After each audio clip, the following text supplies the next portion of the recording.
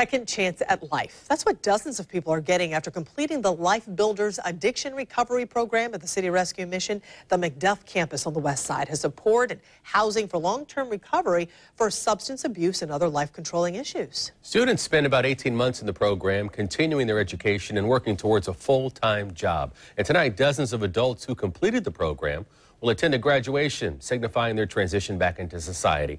Channel 4's Crystal Moyer spoke with one of the graduates. For the past, I say 25, 30 years, it's been hell. Starting at a very young age, Kathleen was in and out of addiction. Alcoholism was just the beginning. Then that slowly but surely transformed, and I went from powder cocaine to crack.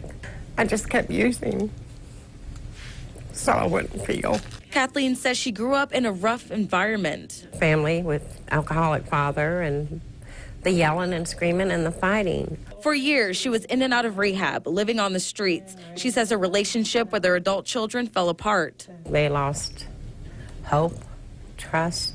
But all that changed after she entered City Rescue Mission's Life Builders program in 2013. It's a Christian based transformation program. They give you enough time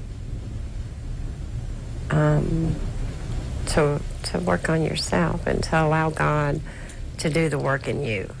Um, if you're willing to change. She says the process wasn't easy. She had to first sign up and go through several interviews and classes. Life Builders has a campus in Lackawanna and has nearly 150 dorms for men and women in the program. They also provide educational services, vocational programs, rehab, and counseling, all privately funded. We are here, and what we know is that with the right heart, these are folks that deserve a second chance at life. A second chance Kathleen says she won't take for granted. Today,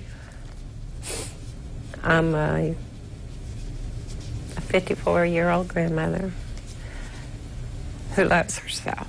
Her motivation can be seen all around her room. Naya and Nicholas Uh, Aaliyah and Anthony, that's my daughter. She's beautiful. They bring me such joy. I know it's not going to be a piece of cake. That's life. But at least now I'm not afraid of it. Kathleen is set to graduate from the Life Builders program Friday. She plans to continue her education and get a full time job. Crystal Moyer, Channel 4, the local station. The City Rescue Mission has graduated thousands of people in the Life Builders program. The executive director says 80% of graduates stay in Northeast Florida, and they're either continuing their education or working with the skills that they've learned through the program.